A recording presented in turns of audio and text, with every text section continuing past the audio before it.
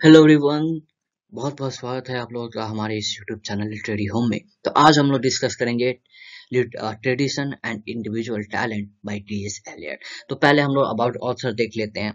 So he was born on 26 September 1888 and he was die on 4 January 1965 okay his full name is Thomas Stearns Eliot and nationality इनकी American थी till 1927 में and then he shifted to British then his nationality is also shifted to British. He was a poet, essayist, publisher, playwright, teacher, banker, and critic also. Okay, he was belongs to western upper class family. Guys what is western upper class family? Upper class family it means in me uh, in the sense uh, in india uh, the upper class upper class family is known as the brahmans okay so in that sense he belongs to that category. Founder of Tritonian magazine. Okay main of 1920 uh, uh, 1914 group of writers. This is main of 1914 this is the group of writers. And in in in which there's these writers belongs. Eliot James Joy V. Wolfe Ezra Pound. Okay Ezra Pound is also a very important writer. Shakespeare Hamlet को इन्होंने Mona Lisa literature Mona Lisa in literature कहा है। Y क्यों कहा इनको इन्होंने Shakespeare के हेमलेट को क्रिटिसाइज किया था हेमलेट एंड इट्स प्रॉब्लम में जो जिसमें बहुत सारी चीज़ें कही गई है इनके द्वारा। तो उसी में इन्होंने हेमलेट को मोनालिसा इन लिटरेचर कहा है। क्यों कहा है क्यों नहीं कहा है हम लोग when we discuss the his Hamlet and his problem then we will discuss all the things okay this is uh, some theory has by has given by the Eliot. What is uh, uh, Eliot in literature? Objective correlative.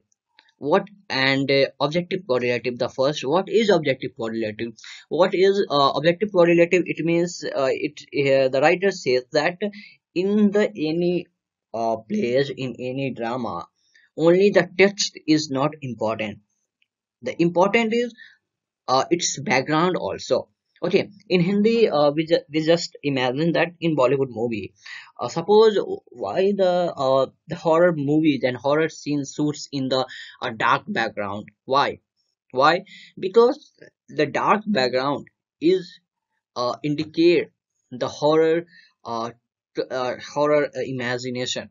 Okay ऐसा क्यों होता है कि रात में ही horror movies जो है वो दिखाई जाती है why because that background scene that things आपके फीलिंग्स को आपके अंदर की जो इमोशंस है उसको टच करती है okay why uh, in bollywood movies uh, not in bollywood movies in all the movies uh, the romantic scenes in suits in the romantic background why because जो पीछे की जो बैकग्राउंड होती है वो और इफ़ेक्ट डालती है आपके इमोशंस को जागने जाने के लिए आपकी फीलिंग्स को टच करती है not only the scripts and text is important but its background is also important so that is objective correlative okay what is autotelic text this autotelic text is self-dependent okay what is self-dependent it's talk about the text of the uh, novel it's talk about the text of the work okay.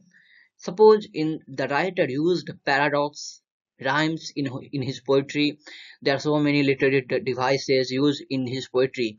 So this is an autotelic. There is no any expression and there is no any explain, explanation has been given by the writer so that is autotelic text okay. And theory of impersonality. What is theory of impersonality? This is correlated to negative capability. What is negative capability? Uh, this term is given by john Keats.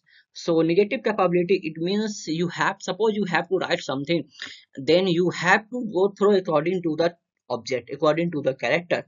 You can't uh, add own feelings and own emotion in that uh, uh, character in that object so you have to think uh, uh, according to the character so that is a theory of impersonality okay and then the uh, we should start our topic the tradition and individual talent so this essay published in 1999 in the egoist magazine london okay egoist magazine london के जो है उसमें ये publish हुई थी पहली बार and this essay published 1999 में Eliot explained the relation between the poet and the preceding literary tradition.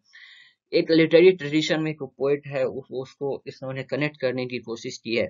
एक रिलेशन जो कि ट्रेडिशन है जो भी एंशियंट लिटरेचर होती है उसको यहाँ पे डिफाइन किया है राइटर ने बहुत ही बढ़िया रूप में।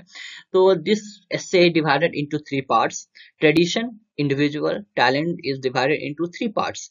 The first part is tradition the second part is theory of impersonal poetry and the third is conclusion.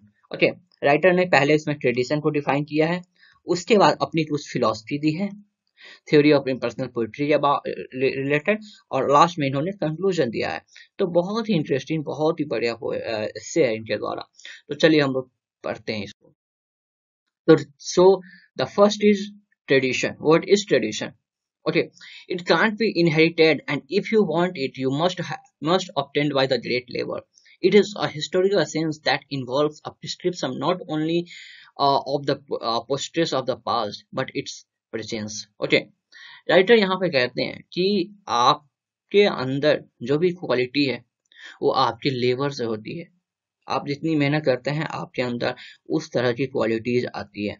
वो किसी के बर्थ से नहीं आती है। Suppose in our society suppose अगर किसी का मैथ्स अच्छा है तो उसने उस मैथ्स पे काम किया है। That's why he is a master in maths okay किसी की इंग्लिश अच्छी है तो उन्होंने, उसने इंग्लिश पे वर्क किया है, कभी ना कभी पास्ट में किया होगा। That's why he is a master in English okay and ये किसी के जन्म से नहीं होता है तो वही होता है कि अगर you have to become a good poet if you have to become a good critic then you have to study our tradition traditional writers जो कि हमारे पास्ट में जिन्होंने लिखा है, उसको पहले पढ़िए, आपके नॉलेज को बढ़ाइए देन आप लिखिए। देन आप आ, आप पोइट्री लिखिए किसी को क्रिटिक कीजिए। राइट आपको बता दो कि जो राइटर थे टी एस एलियट ये ऑर्थोडॉक्सी विचारधारा के थे। व्हाट इज़ ऑर्थोडॉक्सी मतलब ये जल्दी मतलब चेंज नहीं होते हैं ये लोग। must embody the whole of the literature uh, of Europe from Homer and while simultaneously expression their contemporary environment.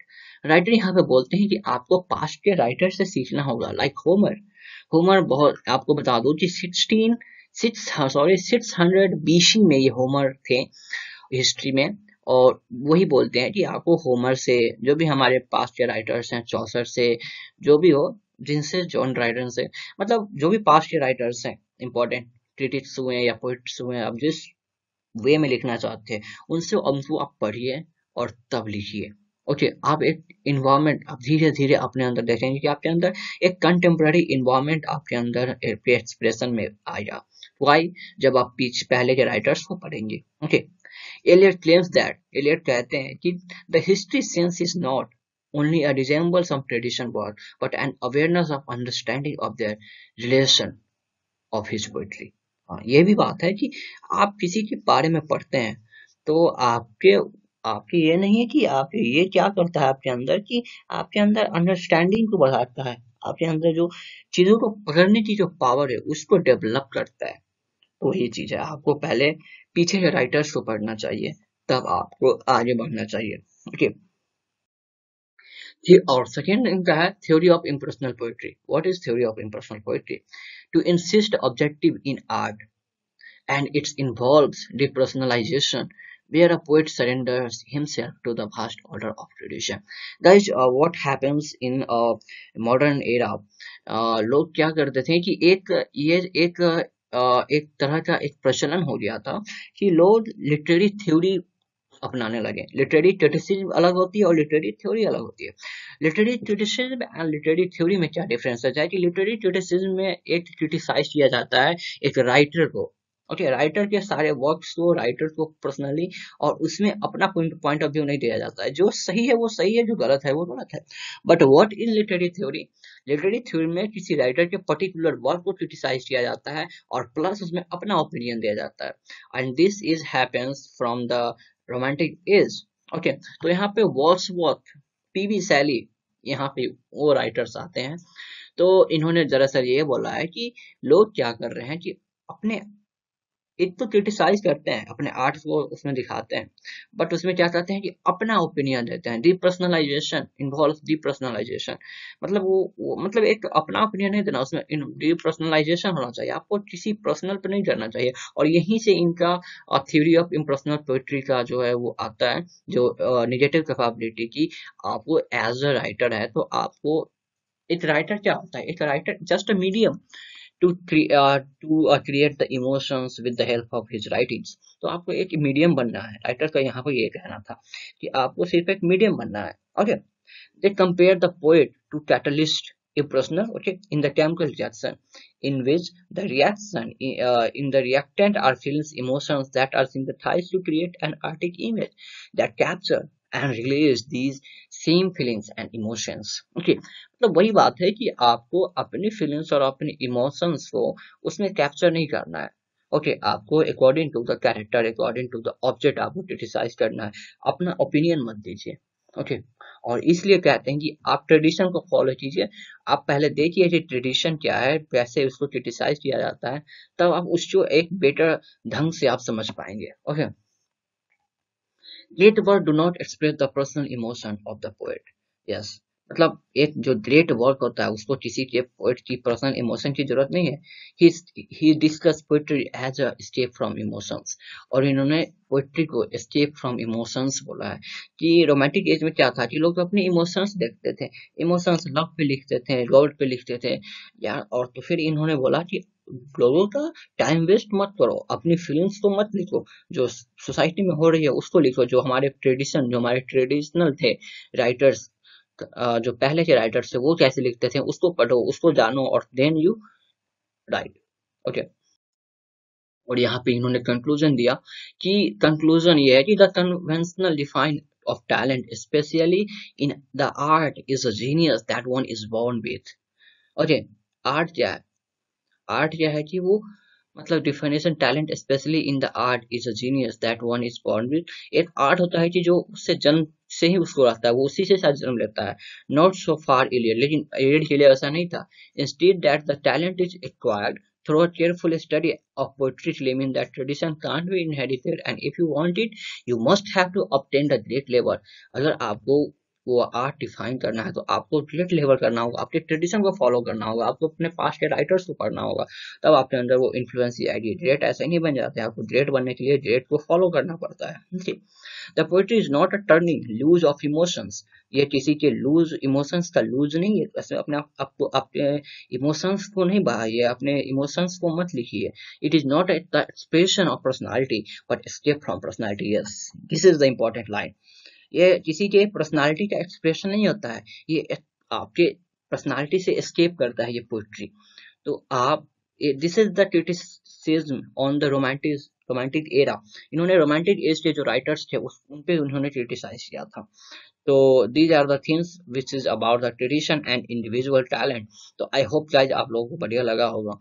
तो if you like it then please like and share and subscribe and and forget to to okay like and आपको जो भी topic पे आपको video चाहिए, वो आप comment कर सकते हैं। I am here to give the feedback so thank you everyone